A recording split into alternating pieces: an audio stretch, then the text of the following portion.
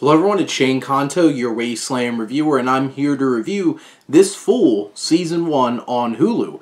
And this is a comedy series created by and starring Chris Estrada, who brings his brand of comedy and his approach to things to this series, playing Julio Lopez, who is a, as described in the synopsis, a punk-ass bitch.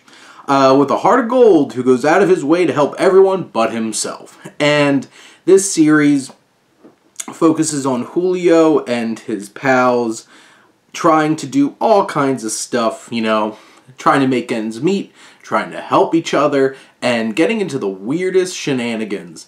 Like moving a giant freezer or something down a giant hill, trying to avoid destroying an ice cream truck.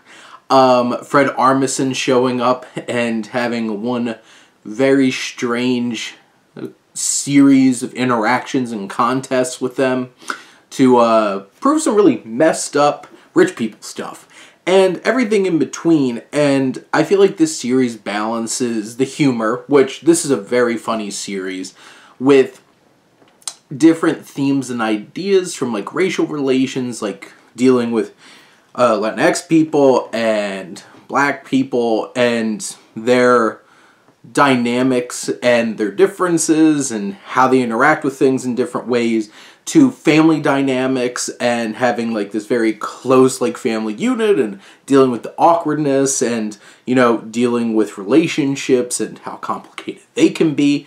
And then getting caught up with Michael Imperioli who I think is a fantastic supporting character in this series as Minister Payne, who seems to be always getting into some shenanigans with Julio and getting them in trouble.